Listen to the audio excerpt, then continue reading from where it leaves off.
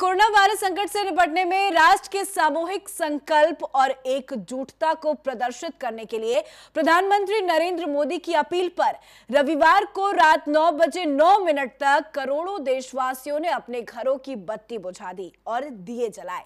मोमबत्ती तथा mobile phone की फ्लैशलाइट जलाई। पीएम मोदी की अपील पर प्रदेश के मुख्यमंत्री त्रिवेंद्र सिंह रावत ने भी अपने परिवार के साथ दिए जलाकर एकजुटता का प्रदर्शन किया है।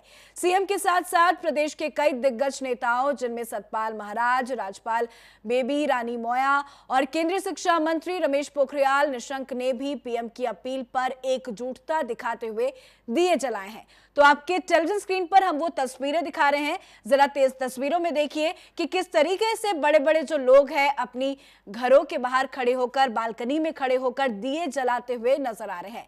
त्रिवेंद्र सिंह रावत की तस्वीरें देखिए, जहाँ वो अपने परिवार वालों के साथ दिया दीप प्रज्वलित करते हुए नज़र आए।